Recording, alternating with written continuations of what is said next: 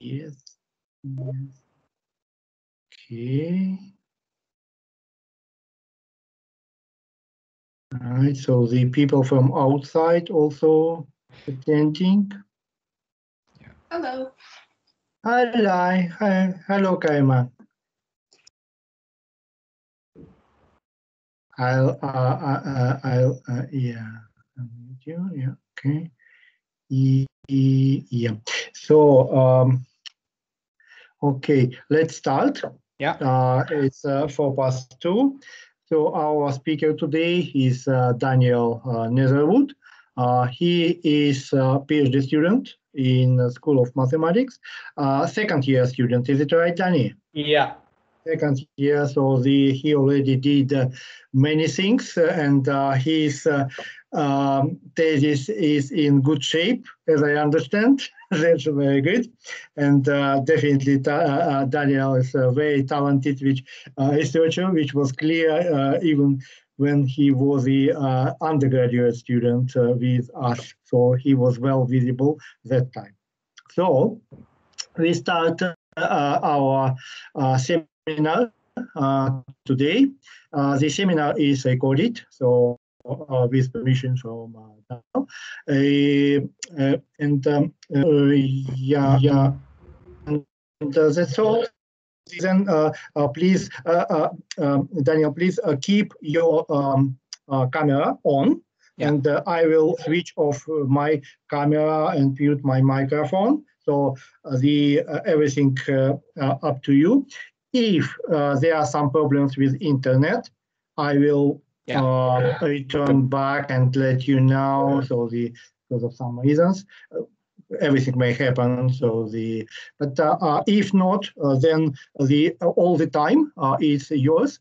At the end, uh, we will have time for uh, questions, uh, for discussions, and uh, mm, uh, literally the time is not limited. So the we can Yeah.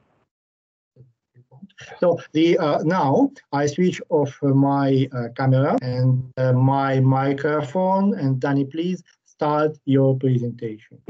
well, brilliant. Thank you very much uh, for inviting me to speak. As you know, I'm a regular attendee at this seminar, and uh, we, given the current situation, we haven't really been given.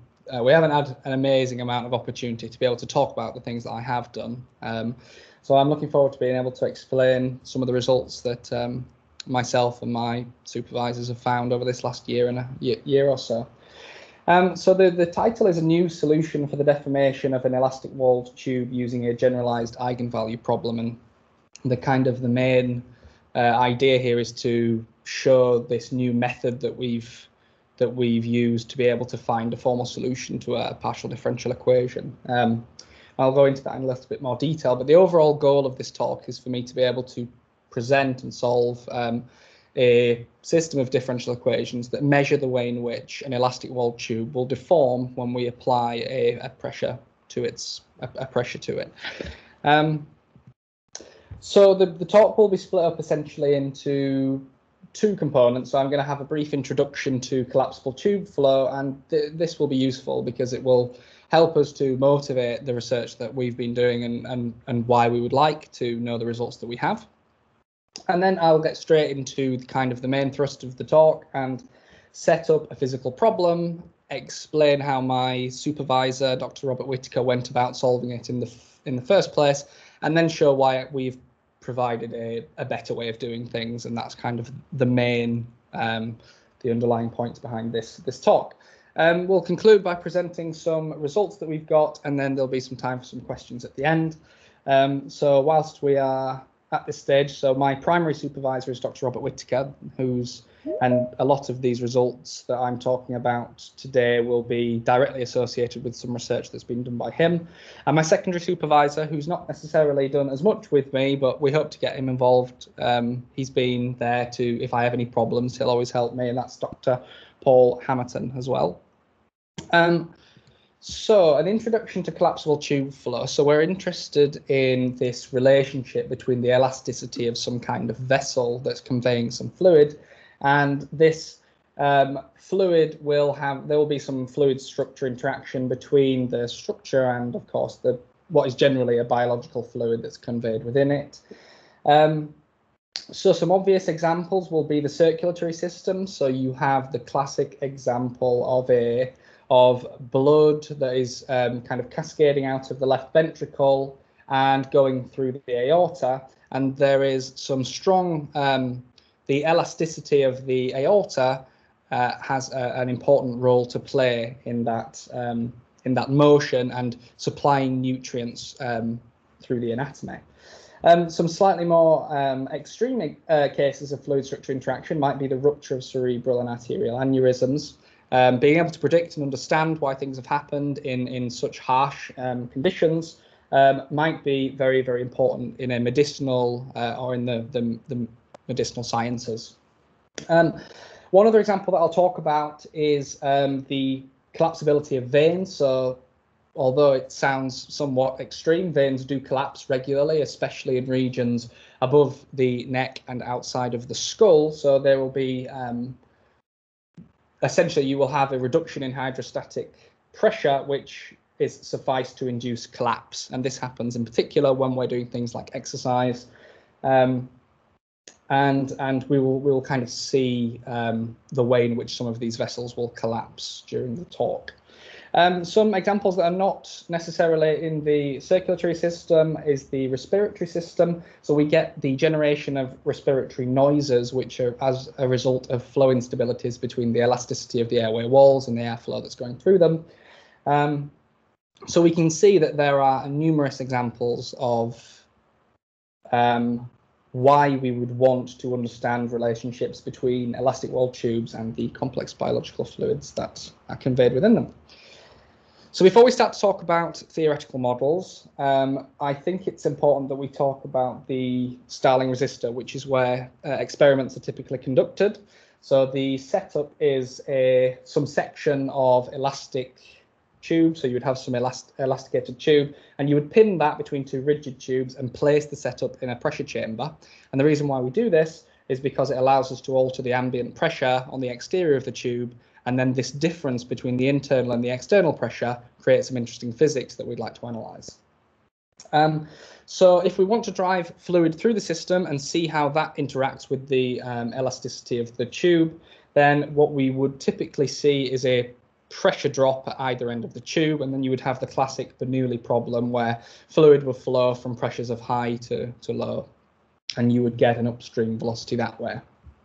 So when we're in this experimental, um, when we're thinking about the experimental results, then what we what scientists have observed is that a quantity known as the transmural pressure, which is the difference between the internal and the external pressure, essentially control, controls the collapsibility of the tube. Um, so if we think about, if we split the the transmural pressure values of the transmural pressure, we'll take into three different into three distinct regions. So first of all, positive transmural pressures, so that will be where the internal pressure outweighs the external pressure by some amount.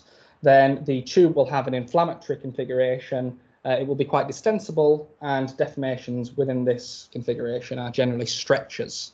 Um, so they're the kind of deformations that we'll observe there. If we think about small negative transmural pressures, then at this stage, the uh, external pressure is starting to outweigh the internal pressure. And in this configuration, the tube will buckle non-axisymmetrically and you will obtain a sort of elliptical configuration.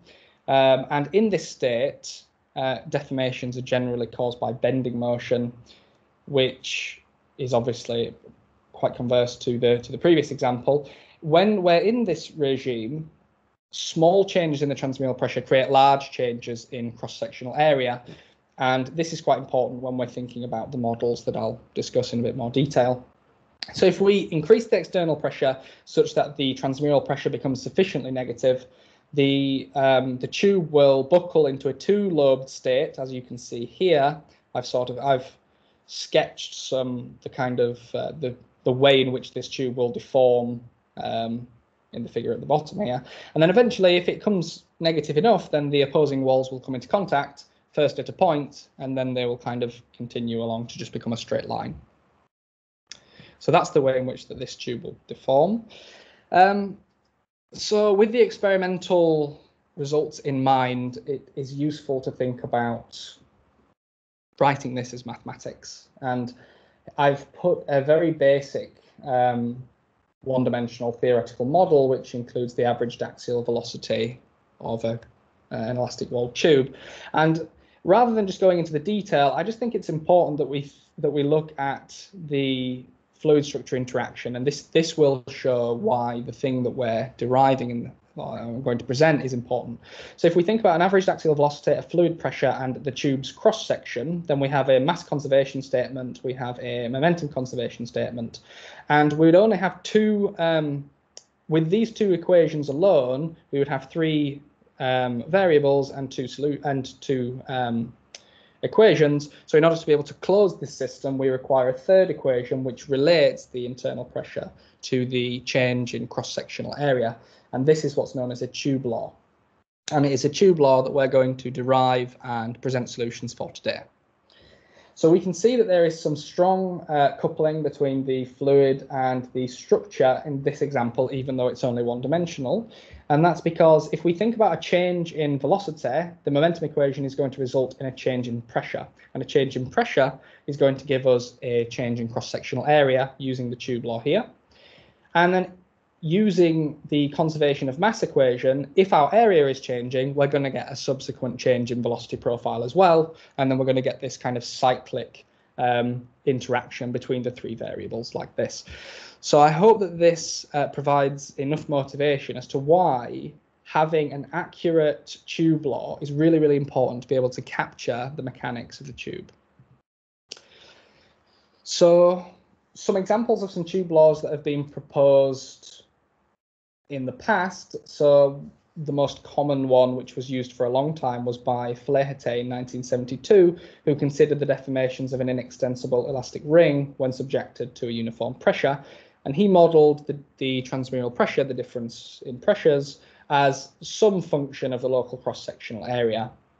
And for what we are trying to do, that is not going to be um, enough because there is an obvious issue, which is that if you're thinking about a ring, then understanding the way in which that cross section, the cross sectional area of the ring changes is useful. But what that does not take into account is any axial forces or bending moments or anything like this. And this is going to have an effect on the way in which our tube will deform. So in 1981, McClurken was the first to um, essentially tried to fix this problem and introduced contributions from axial tension. He also introduced contributions from axial bending as well, but I've only included the tensional effects here. And uh, Raine also considered um, some additional terms which include axial effects as well. The problem the problem with their approach was that they assumed that the um, these tensional effects could be included additively to the problem to the tube law, sorry. So you have this local pressure area relationship, and then you include an additive term, which is the tension proportional to the curvature of the tube. And the way in which this term was derived was by making an assumption that the tube takes an idealized geometry when it's deforming. Now, this is not something that you necessarily want to do because, as we've seen from the previous, um, what I was speaking about previously, small changes in pressure create large changes in cross-sectional area. So it's not the best idea to be able to assume that your deformed geometry, that your deformed tube takes a specific geometry. Ideally, what we would like to do is have a rational derivation of a tube law that uses the theory of linear elasticity and fluid mechanics, etc., to be able to understand the way in which a tube will deform as we apply pressure to it. And this is where the work from my um, supervisor comes in. So in 2010, um, Robert and some of his collaborators provided a rational derivation of a tube law from shell theory. And what they did not do was model the deformed tube as an as an idealized ge geometry. So they took an initial um, a tube in its initial geometry and said, how is this tube going to deform? So um, what his model included was contributions due to axial tension and azimuthal bending, and also um, these additional derivatives due to the curvature allows you to capture the tube end effects, the pinned end tube effects that we saw from the Starling resistor case. And as I've as I've as I'm going to repeat, um, he does not model the deformed tube as an idealized geometry, although he does invoke an ad hoc assumption on how to solve um, the problem which we fix. So the physical setup is that we consider a long thin walled tube of length L, wall thickness D, Uh, the tube is initially axially uniform and has a it has an initially axially uniform elliptical cross section of circumference 2 pi a. Um, as is the case in the Starling resistor, we're pinning the tube at both ends and applying an axial pre-stress uh, of magnitude f over 2 pi ad, um, stretching the tube at either end. So how is this tube going to deform? So we're going to assume that the tube wall is linearly elastic and behaves isotropically, and we're going to assume that the deformations of the tube are induced by a dimensionless transmural pressure P tilde, which as defined previously is the difference between the internal and the external pressure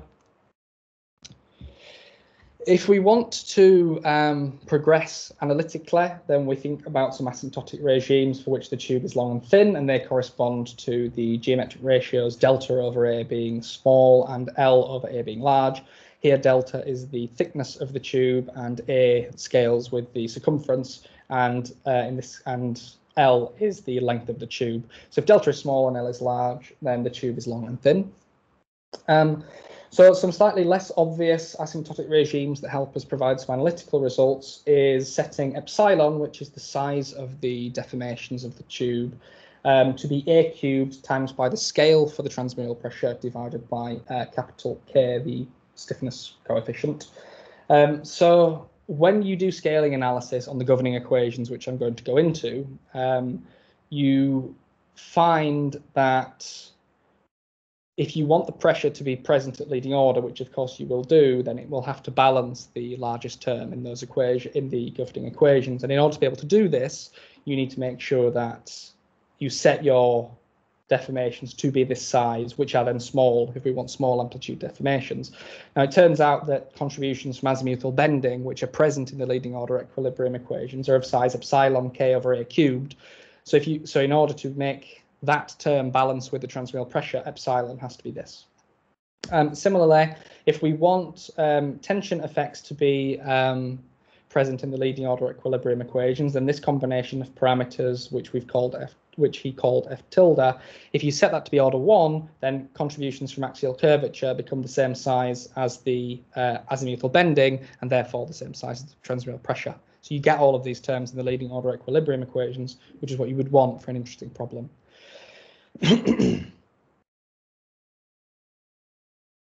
so the tube's midplane is parameterized by the dimensionless coordinates tau z.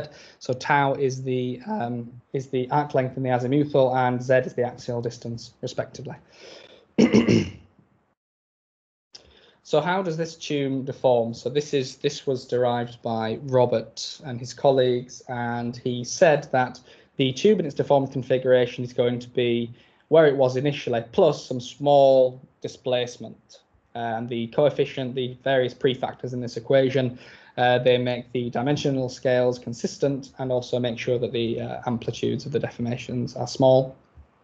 Um, so here, psi is the displacement of the tube normal to the tube wall. Eta is the azimuthal displacement.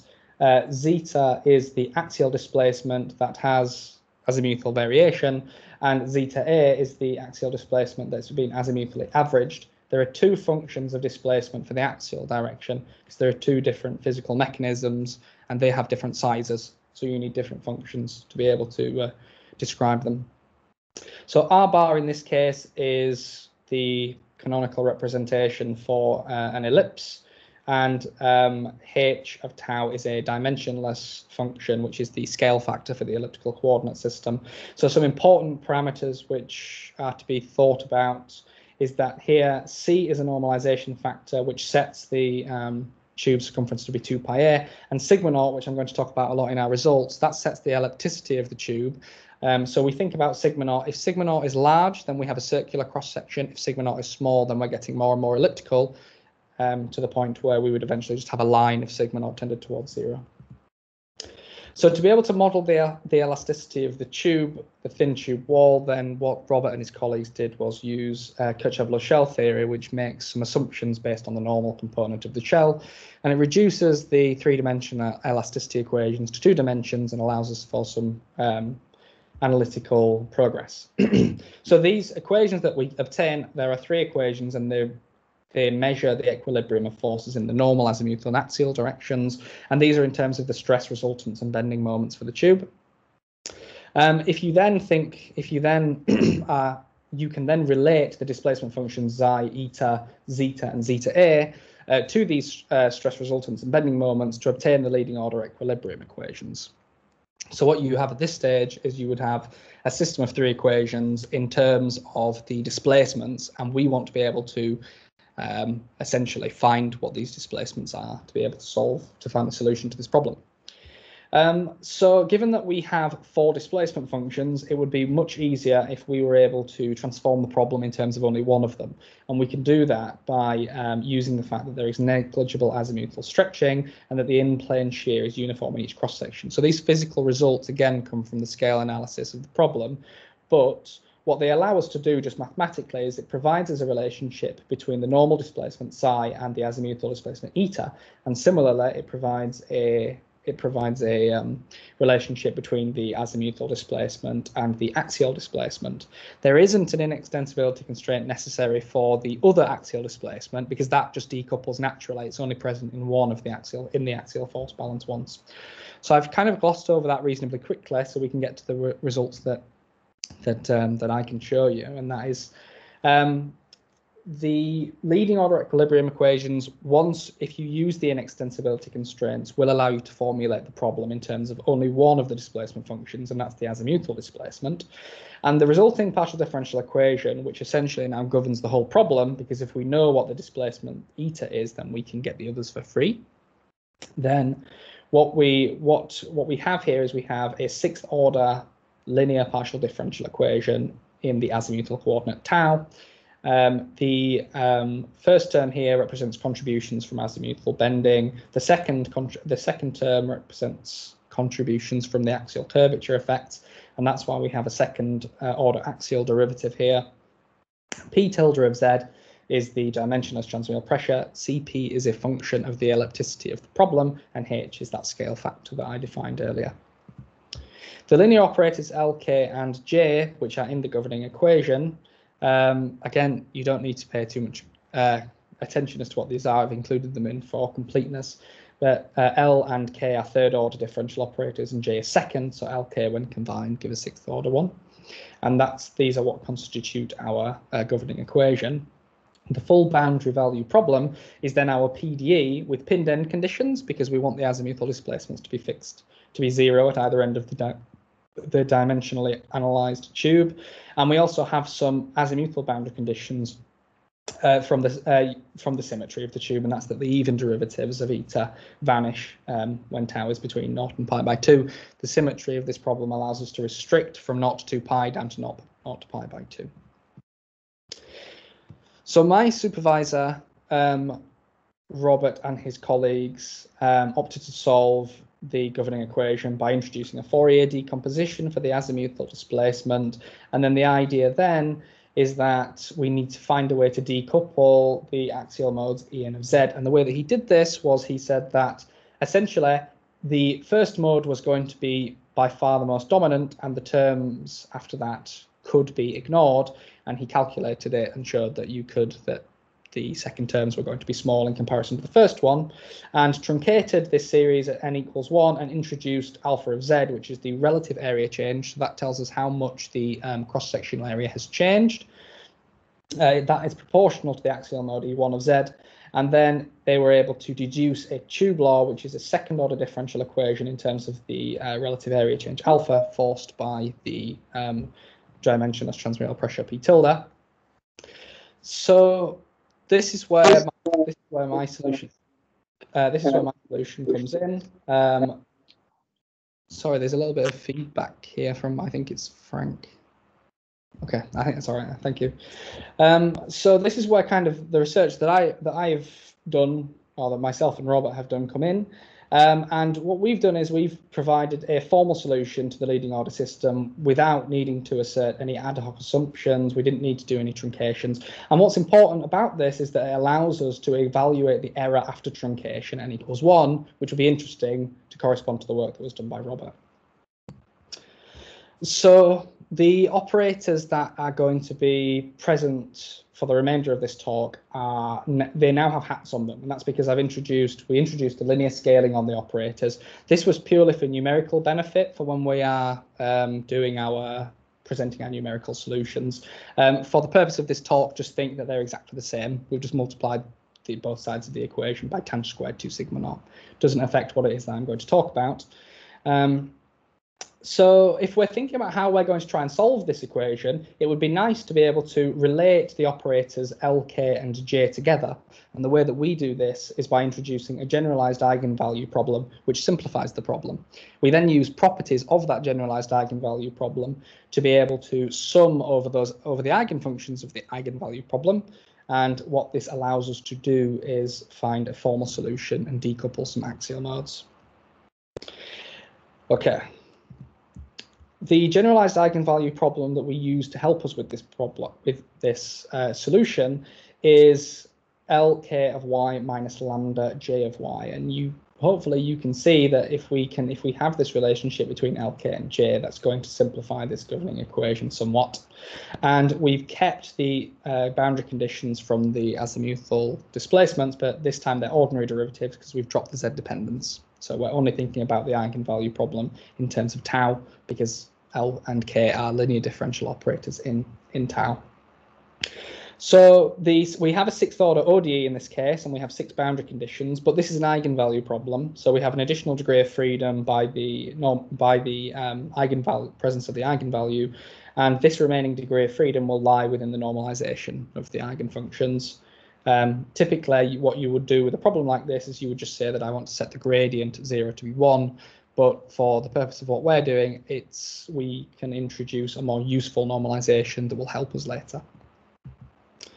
So we've proven some important results associated with this generalized eigenvalue problem. So with respect to the inner product given here, um, the operators Lk and J are self-adjoint on the space of functions that satisfy the boundary conditions, and this in turn allows us to prove some interesting things. So as, as almost the halfway point, whilst you're proving that Lk and J are self-adjoint, you also get the fact that uh, Lk and J must be positive definite, so you arrive at a sum of squares, and you, that enables you to be able to prove that Lk and J are positive definite. And this is useful because it allows us to define an alternative normalization condition uh, which I'll talk about in a second. So we derive an orthogonality relationship between the eigenfunctions yn and ym. So if yn and ym satisfy the eigenvalue problem, then it is true that when you integrate over the region um, and you have 1 over h yn times by j applied to ym, if n is not equal to m, then this integral will vanish. Uh, this therefore allows us to introduce the normalization condition that when the n is equal to m, then we will set this integral equal to 1, and this will help us. So a very important property of the eigenfunctions of the generalized eigenvalue problem is that they form a complete set of eigenfunctions. So this is very much a non-trivial argument. It took us a long time to be able to prove this result. Um, and I'm, I'm, not going to go into the details in this talk, but I would be happy to answer any questions if anyone would like to know at the end. Um, so what we've proven is that the is that if you take any um, any function in our function space that satisfies the boundary conditions, then you can represent that function as a sum over the eigenfunctions of the generalized eigenvalue problem. So there will exist a sequence of constants an such that we can have this sum that's given here. And we're going to use this property to sum over the azimuthal, to sum, we're going to write the um, the azimuthal displacement as a sum of the eigenfunctions of the generalized eigenvalue problem, and this will allow us to decouple um, the equations. So for completeness, I've included the numerical solutions for the eigenfunctions, and you can kind of see that these eigenfunctions are indicative of something that would be would form a complete set. Um, if you take the limit as the uh, cross section of the tube becomes circular, you get uh, precisely Fourier modes. So you do get a Fourier series in that case, so that's a good sign as well. And then what we see is that as you increase the mode, you increase the number of oscillations linearly. So if we have, um, so we have one oscillation for mode one, two oscillations for mode two, etc. And then similarly, we have the numerical solutions for the eigenvalues. And although this isn't doesn't have too much of a physical uh, meaning on the problem, what it does do allow us to do is think about the um, the sizes of the eigenvalues and how they're increasing um, by quite a lot as we increase the um, the solution mode. So now we'll get onto the generalized eigenvalue method, which is the whole point of why we've done what we've done, and that is to take our governing equation here and write the azimuthal displacement eta as a sum over the eigenfunctions of the eigenvalue problem, and our sequence of constants, which are now sequence of functions of the axial coordinate z. The problem is now to be able to write uh, a system of equations for the axial modes an of z. Um, and it will be this system that allows us to derive a tube law measuring the way in which this tube will deform. So I've omitted the details, but if you do substitute this expansion into the governing equation and you use the fact that um, the I, that the linear operators L, K, and J are self-adjoint, and you also use the fact that Yn is an eigenfunction of the generalized eigenvalue problem, what you find is that you can write the following second order differential system uh, for the axial modes A and of Z forced by the dimensionless transmural pressure. Um, the constant Qn, or the sequence of constants Qn, represent the contribution to the pressure from the nth eigenmode. Um, these are just a constant for what we're interested in. Um, they're calculated numerically using this formula given here. So to be able to derive the tube law, um, we want to consider the area uh, the area displacement, so the difference between what the cross-sectional area was uh, and what it is now. Yeah. And you can show that the area displacement is given uh, by this integral of the normal displacement. Now, what I'm about to say, there's quite a few jumps in here, but using the inextensibility constraint uh, that there is negligible azimuthal stretching at leading order, you have a relationship between the normal displacement and the azimuthal displacement. So they're somewhat proportional. And if you can write your area displacement in terms of the azimuthal displacement, then what you can use is your sum over the eigenfunctions yn of tau again. And that's why in our result we end up with a sum. And then all we need to do is introduce a fractional area change. So this tells us how our area, this is, it, tells us how our area has changed, um, which is what we're interested in because these are of course indicative of the deformation. So if you introduce all these things together, then what you obtain is that alpha of z, which is the relative area change of the tube, uh, is given by the following sum over alpha n of z. And each alpha n is the contribution to the relative area change from the nth eigenmode. So what we have shown is that each contribution at each mode, so we're thinking about alpha as the sum alpha 1, alpha 2. Alpha 1 we expect to be dominant because that's going to be uh, comparable to the work done by Robert um, 10 years ago or so. And each alpha n can be shown to satisfy this second order differential equation. So we have a second order system um, here where if we set n equals to 1, we obtain the tube law, which is what which is um, directly associated with the tube law derived by by Robert. But then what we're interested in is what happens when we think about n equals 2, n equals 3. So these are these kind of correction terms. And now that we actually have a formula to be able to find the solutions for those correction terms, we can then um, understand the way in, we can then understand the error after truncation at n equals one. So the pinned end conditions, uh, they remain the same. They the only difference is uh, so they come directly from writing eta as this expansion here. Eta had to be zero either end of the tubes, so does alpha n. Um, so what we can do is we can present solutions when we are given a uniform transmural pressure. So if we let P tilde be equal to um, minus one, then in this case, we can solve this differential equation analytically. So it's using standard methods from undergraduate um, calculus. And subjected to the boundary conditions, we can obtain a solution for the relative area change alpha n of z. And so the solutions are given here. Uh, I've plotted them here. And in particular, what I'm going to draw your attention to in this first figure is that I've plotted the solutions by Robert and his colleagues over the top using this pentagonal marker system. And hopefully you can see that the results are very much um, in agreement with one another, which was very good for us because it means that not only was Robert's um, Robert's method very, very accurate, but it also means that we have agreement in our solutions. And importantly, if we look at alpha 1, alpha 2, alpha 3, and alpha 4, alpha 1 being the leading mode and alpha 2 and beyond being the correction modes, um, they're very, very, the correction modes are very, very small in comparison to the leading order mode. So I've plotted, the curves that I've plotted are for a dimensionless axial tension F tilde being 3 and 1, and the ellipticity of the tube for these solutions was set at sigma naught equals 0.6. So because obviously we wouldn't we have to be able to think we've taken a specific tube of a specific ellipticity and found the results for that for a uniform pressure. So this brings us on to trying to find out in general when is when are we going to have a good approximation and when can we truncate our expansions n equals one like Robert did. So for sigma naught equals, if we look back, for sigma naught equals 0.6, so that's a reasonably elliptical cross section. Um, and axial tensions of F tilde being 3 and F tilde being 1, um, what we see is that this is a pretty good approximation. So we have a 10 to the minus 4 correction term, and we have 0.01, 0.02 leading order terms.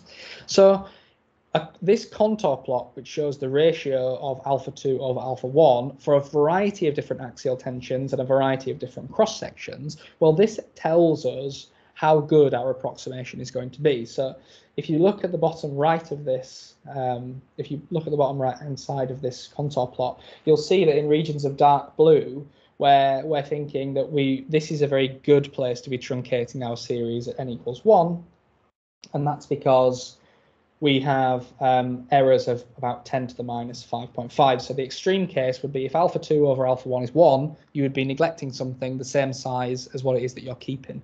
So luckily for us, the smaller the value, the better it is. So sigma naught being 2.5, I've drawn, I've sketched the progression of the cross-sectional areas. So um, the far left elliptical cross-section corresponds to sigma naught being 0.1 and sigma naught being 2.5 is this uh, what was to be perceived as a circle, when it's not quite so. Um, so when sigma naught is 2.5, we have a very circular cross section, and it doesn't really matter that much what our axial tension is, whether it's small or large. We're going to get a reasonable approximation, even if we neglect our correction terms.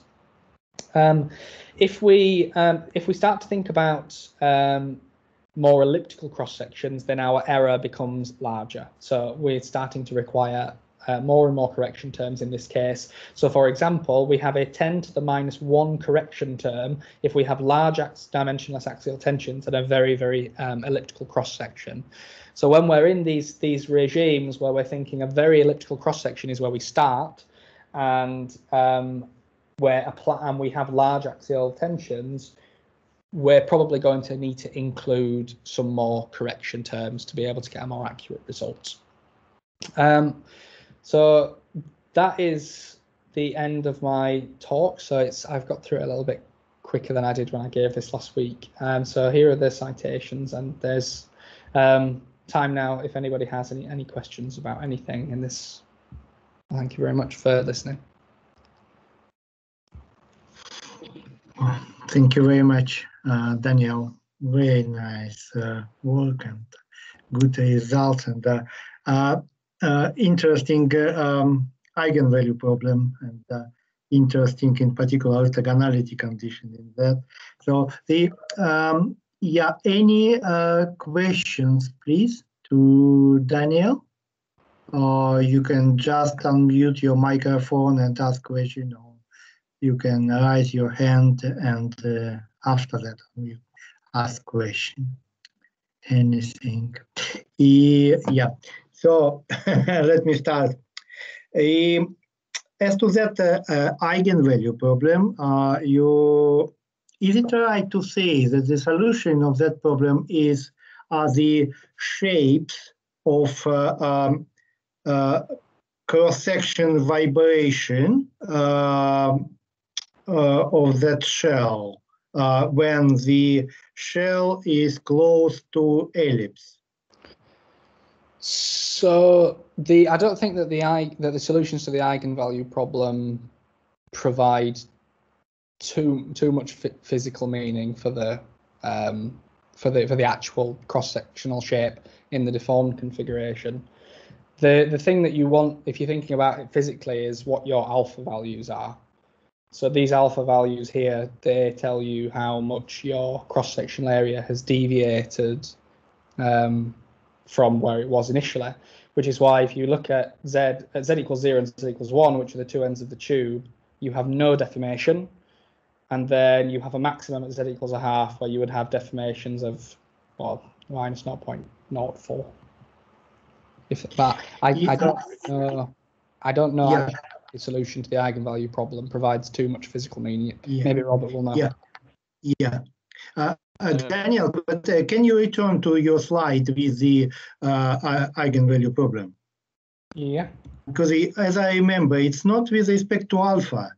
yeah, it's with respect to y, and what the and y depends on tau, right? Yeah. And tau is azimuthal coordinate. Yeah. Right. So that is the uh, um, uh, in the z-azimuthal direction. Yeah, yeah. So, uh, y, in some sense, it's distribution uh, uh, uh in the azimuthal uh, direction. So, um, and the equations you derive, you use, that is the equation of the shell. And in that equation, you consider what's happening only in cross section for uh, z equal to constant, right? So then uh, that y, I do not know is it uh, has a meaning or not, but uh, it's it's related to some behavior of the behavior of the. It, it definitely it definitely will. I presume it definitely does have some physical meaning behind it, but the way that I've known or thought about it is that it's a way. But, did you did you calculate that y of tau? Yeah, Yes, these are it, these solutions here. Yeah, yeah, yeah. That is that is yeah, yeah, yeah, yeah. That is yeah. And uh, you limit yourself to uh, two from zero to pi over four because of symmetry of the shape, right? Yeah. Because it's a double symmetry, so that is it uh, could be yeah it could be related to the shapes uh, um, he, uh, Mark, Mark Cooker, could you uh, could you ask your question? Could be related to what we are discussing. Mark. Hello, Danny. Yes, uh, yep. I was just asking uh, about the complexity of the um, computation of these individual uh, eigenfunctions. So perhaps you've answered this already. So the the um, the eigenfunctions weren't too difficult to compute you use we used we just used a built-in um, ODE um, boundary value problem solver. There, there was um, it was it was reasonably difficult to obtain solutions for all sigma naught. So what we found is that if you tried to solve this problem with a very with a very elliptical cross section, we, we weren't getting the solutions that we wanted. Um, and it, they required a little bit of fiddling about to be able to find solutions in in that case. But there wasn't too much compl- com- computational complexity really in, in solving the eigenvalue problem. Thank you. I was interested because it, it looks like it's a two-point value problem, yeah. a boundary value problem, and they're, they're notorious. Yeah. So if you found yeah. this straightforward, then that's uh, very good. It's it's linear which makes so these operators LK and J are linear in, in tau, uh, which makes okay. it much nicer, and it, it's it's not too dissimilar from any any ordinary eigenvalue problem. It just kind of mm-hmm. complicated. You have a nice number of boundary conditions. Mm-hmm. The, the, there's an interesting question in how do you so initially we normalized the the um, the eigenfunctions to have a gradient of one at zero and then we renormalized them later on, but uh, it wasn't it wasn't too difficult. That's great. Thank you. Thank you for your answer. Yeah. Okay. Yeah. yeah. Then it's uh, it yeah it would be uh, great to understand what the meaning of so the to say it's not only mathematical, but uh, uh, there is the well, kind of physics. Maybe behind. Robert. Uh, Robert, Robert, please, would you? Um, so, so they're not vibrational modes per se because there isn't an inertia term in there. Oh and yes. The the inertia term. Um, I have a feeling I might have done this in the dim and distant past to have a look. Um, you, you would potentially have another differential operator in front of eta. So so you could imagine if you if you put inertia in, you get an extra term in the equation, which would be the I don't know mass mass per per unit area or something times some operator acting on eta. Uh, if you are lucky, the operator might be j or, or, or l times k or something like that. In in which case, then they probably would be the vibrational modes, but but for subtle reasons. Um, I can't remember it, it. It might be that it's exactly J, in which case they would be vibrational modes, um, but but sort of by coincidence, I guess. Um. It's an interesting question though, Sasha, about about what what physical relevance they do actually have, and it it's it's to do with a mode that the if you alter the amplitude of it going along the length, the forces that you need to keep that deformation due to axial bending are kind of exactly in the same exactly the same function of tau as the forces you get from neighboring modes because you've got a different amplitude in two places. Uh, it's it's a, it's, it's sort of a, a coupling between azimuthal bending and the axial tension and curvature effects, and it's what yeah. deformation shapes yes. sort of work without without tripping off any other modes. Mm. Okay, yeah, yeah, yeah, yeah, the, yeah, clear. Thank you, thank you very much, Robert. Um, any other questions? Yeah, Sasha? yeah, uh, yeah, yeah. Um, Frank, please. Yes, uh, just to ask Daniel, um, what do you intend doing next with um, in this research? Oh. So we um, we have what we're going to do next is we're going to see if we can generalize this problem where the tube initially has an arbitrary cross section rather than being necessarily elliptical. Um, there's an interesting problem which Robert asked me about the other day, which is can we, can, does there exist a cross sectional shape such that there are no errors? We were talking about and now. I think that would be a reasonably difficult problem um, mm. because it would depend on a lot of different things I've talked about in this talk. But yeah, we're going to try and uh, how, how can we not think about the tube being initially elliptical, and if we can vary that and start off with a bit more exotic shapes. Mm. Yes. Okay. Mm. Uh, how exotic would you go? Would you, have, would you have corners and? I don't know. Corners sound a bit scary. Mm. yeah, yeah, yeah, yeah, yeah, yeah. yeah. yeah. Uh, uh, Robert, uh, your hand is still up. So would you like to say something? Okay, no. Yeah. Mm, mm, uh, Daniel, could you uh, show next slide, please? Yeah.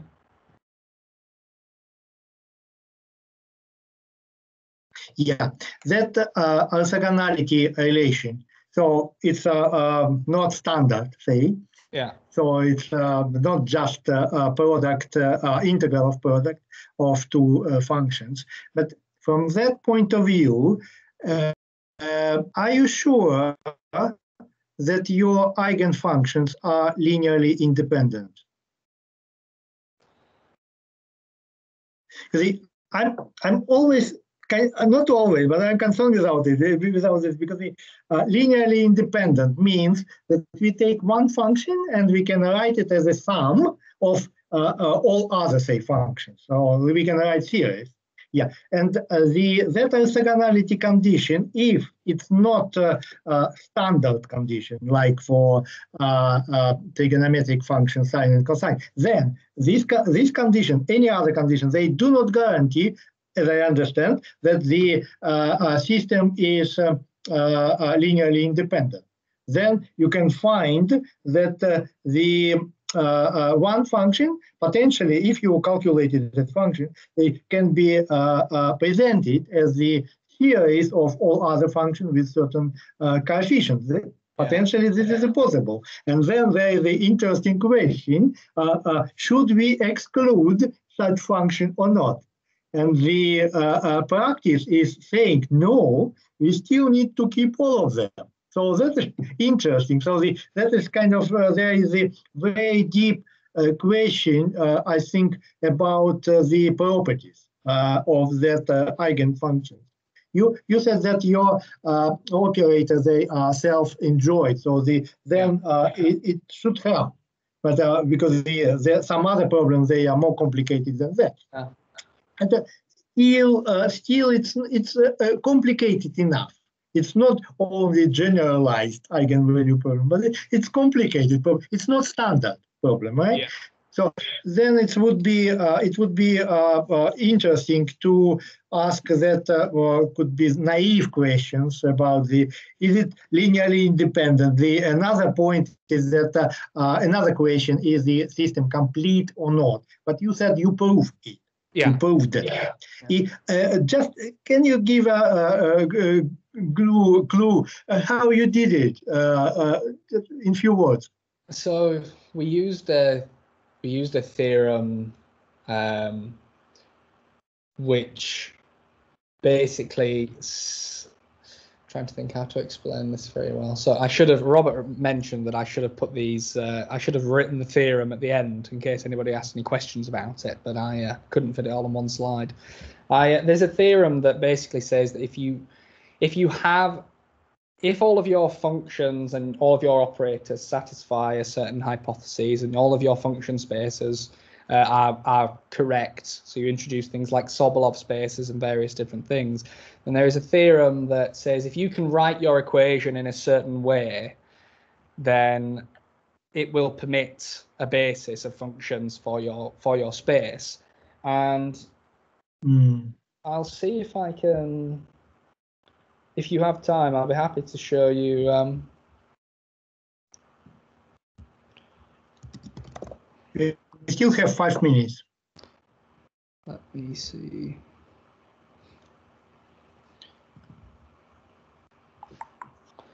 I'll just get.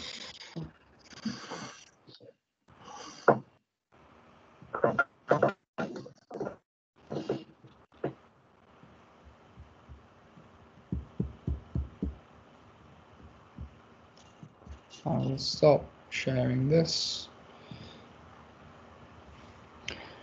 So it's it's not letting me uh, share the other. So I have the I have the document. Um, okay. Okay. Will, me share the other yeah. screen. Yeah, we can uh, we can add uh, the kind of reference uh, to the um, to, to the video uh, video presentation. this, this would be good. This can help others to work on. The um, any other questions, by the way? yeah, uh, uh, Plotnikov, yeah. Can you uh, unmute you? Yeah. Can you ask question? Yeah, Pavel. Hello.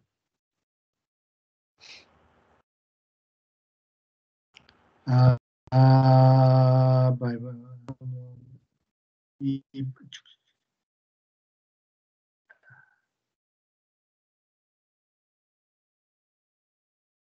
Oh no. The um somebody uh, no one participant uh, raised a hand but uh, uh, didn't couldn't ask question. I don't know yeah, then uh, let me uh, ask another question. So uh, that uh, your analysis is, is based on linear shell theory. Kirchhoff-Love shell theory, yeah. Linear. Yeah. So this means that uh, you cannot describe collapse in particular. Um, so I, I don't know that much about Kirchhoff-Love shell theory. The that was all covered in Robert's paper. Um, yeah, know, yeah, but the linear means uh, small, small deflections. Right? Yeah, I yeah, think, yeah. Uh, generally speaking, right? Linear.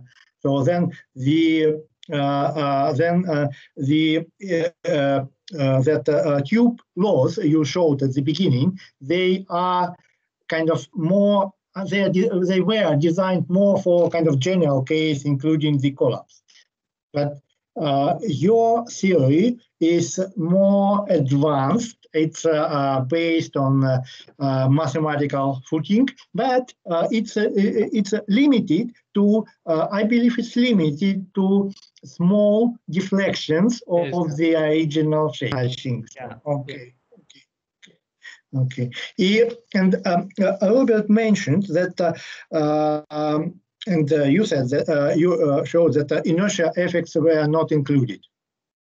Um, in, in the inertia just what was not was not included as part of Robert's yeah yeah, yeah. the uh, yeah but the uh, is it possible uh, I, I, do not suggest you to include them but is it possible and there could be no reason to account for inertia so did you study that question uh, no, I, I, haven't. I think um, that Robert's previous PhD student studied um, things to do with wall inertia. I, I, haven't thought about that in my PhD yet.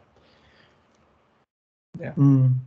Because if you if you consider, uh, I believe pulses going through the vein, then the the, the uh, uh, unsteady, uh, not unsteady, but the uh, like pulse uh, of uh, pressure going yeah. through, then the inertia could be could be important to include. Right?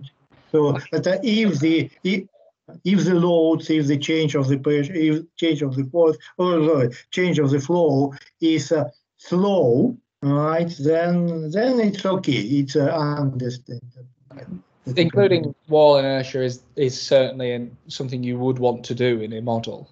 Um, yeah. I um I think that for the purpose of what we were doing, it's already complicated enough. Um, yeah, yeah, yeah, yeah. There are some very there are some simple tube laws that have been derived, which um, include um, wall uh, effects from wall inertia as well. So they are included in some people's oh. work.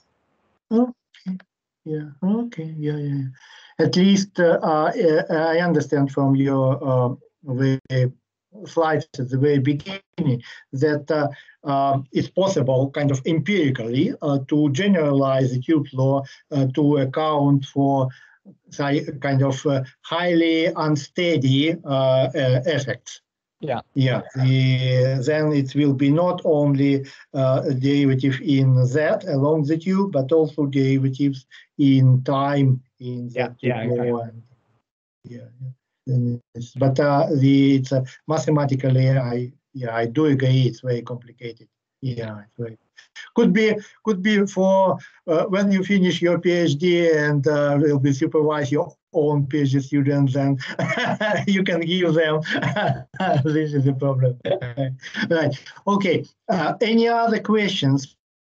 Please. Uh, we are almost uh, finishing. Yeah. Okay, no question. Then thank you very much, Daniel, for a very interesting presentation. Uh, it's um, a little bit uh, uh, unusual, say, presentation. It's more mathematical, but uh, we are in School of Mathematics, so it's very good. Uh, it's uh, very reasonable, and uh, I'm happy that so uh, complicated mathematical problems are studied by our PhD students in our so thank you, Daniel, and many thanks to Robert for the some uh, Uh, explanations they are doing. Yeah, uh, good, uh, good job, very good job. Uh, uh, Thanks. The then this is the our last seminar before Easter break. So uh, have a good, uh, have a happy uh, Easter.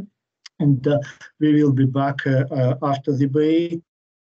as I remember, next seminar will be on 29th of April and uh, there will be also interesting uh, uh, interesting inter interesting talks, both about hydrodynamics, about psychology, about the application of hydrodynamic in uh, uh, so-called gun violence. I don't know what that, but uh, sounds scary.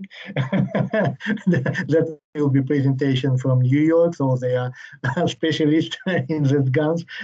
so yeah, so um, yeah, thank you very much, and uh, I uh, stop recording. Stop recording. All right.